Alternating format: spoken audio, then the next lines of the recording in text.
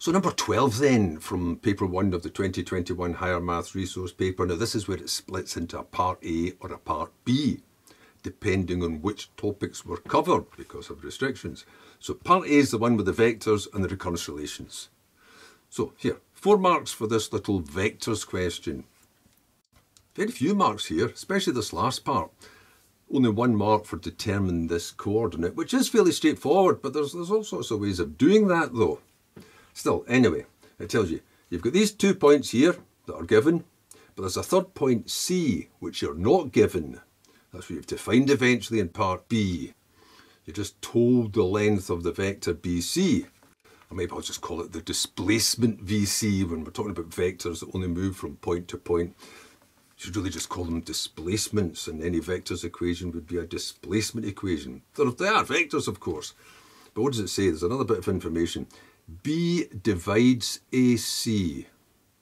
So it's meaning presumably properly dividing it. In other words, you've got point A, somewhere further along you've got point C, and somewhere in between you've got point B. Because you have to watch that dividing, because strictly speaking there's two sorts of possible dividings. So you could have a dividing internally or a division externally. Let's see the point C you could say C divides AB externally. In other words, to go from A to B, you'd have to go forward to C and then come back to get to B. But anyway, that's what it's saying. I'm just assuming it means B divides it internally. And what's the first bit? Find the magnitude of the displacement AB, of the vector AB, the displacement AB. Right, well, AB, how do you go from A to B? Well, that'll be B minus A. Where you end up, take away where you started. 7, negative 4, 1, writing them down as column vectors. And A is 4, 2, negative 5, which means AB is going to be 7 take away 4 is 3. That'll be negative 6, and that's plus the 5, which makes that 6. So the magnitude of that then, the magnitude of that vector, or you could say the magnitude of that displacement, the size of the move, the actual move that goes, uh, would have to go through to get from A to B, will be just doing three-dimensional Pythagoras. The along, the back and the up. So it'll be the 3 squared. You could take the factor of 3 out. And then just have 1, negative 2 and 2 getting squared. Plus the negative 6 squared plus the 6 squared. So add that lot up. What have you got? You've got the 9 and the 36 and the 36. So that's 7281, which means the magnitude of AB is 9. It's 9 units to go from A to B. So we'll just put it in. 9 units to go from A to B, and it said here it's 6 units to go from B to C. So the two marks here were one, for getting the components of that translation, and two, for carrying out that three-dimensional Pythagoras, the distance formula, to get the magnitude. Now the second part just said, state the ratio in which B divides AC. Well, the ratio in which it divides it, so I should write down AB to BC maybe I'll put it down now. So AB to BC is going to be, well, it's 9 to 6. I'll put that down first of all. But you have to simplify that, so that'll be 3 to 2. So that was part A.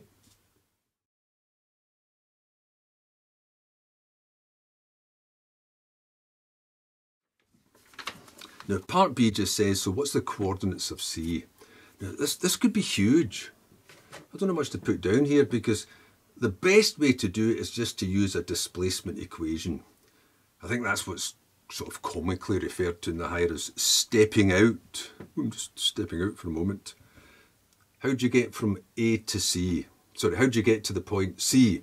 Well, to get to somewhere you don't know, you start from somewhere you do know, so you can choose either A or B, and then you follow a move that you know.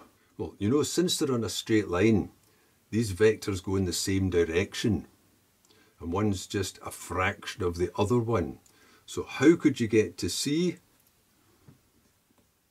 You could start at A or B, I'll just start at B, and then go from B to C. That's called the displacement equation. How can you get to C? Go to B and then follow the move that takes you from B to C. Now the move from B to C, we don't have that, but we've got the move from A to B.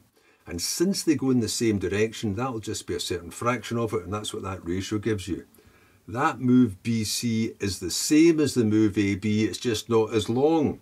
So that's actually equal to B plus a fraction of AB.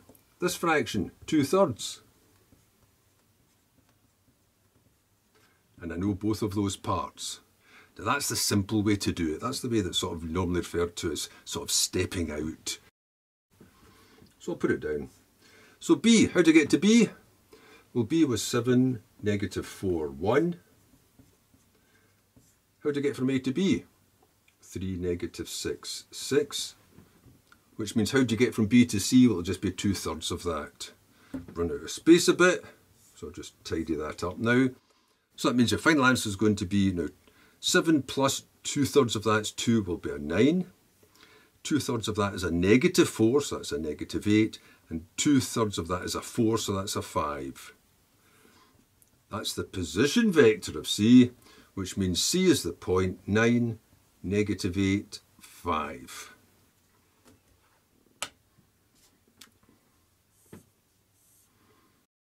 The alternative would be to use the section formula. Now, I know there's another way that I've seen getting done in the higher, where you, you state this, you, you form an equation with the two displacements and the ratio, and then you start playing around with them and split them apart. But all that happens if you do that is you end up with either this one almost immediately, or the section formula after about half a dozen lines. There really are only two methods. There's the displacement equation, which is the best one because you can understand that really easily. How do I get there? Start somewhere I know and follow a known pathway. Or there's the section formula, and the section formula works like this. Going to put it down with B first of all. If you want to find some point that cuts a line into a certain ratio, and I'm just going to call the ratio m to n here, then it'll be 1 over m plus n, because that's the number of bits there are altogether, times, and then you have to watch these get reversed, it'll be the n times the a plus the m times the c. Now you could put in those figures and then rearrange it for the c, but you can also do c, which is an external division. You would say c would be now to get to c, since the ratio is 3 to 2, 3 to 2 means you're going five steps forward, two steps back. So if you add them together, that's going to be a third. And it's the second one, so it's of negative 2a plus 5b. That would be the section formula that would end up with this result. Now you could, well, I'm not going to go through it. You could work that out if you like, but you'll just end up with this answer.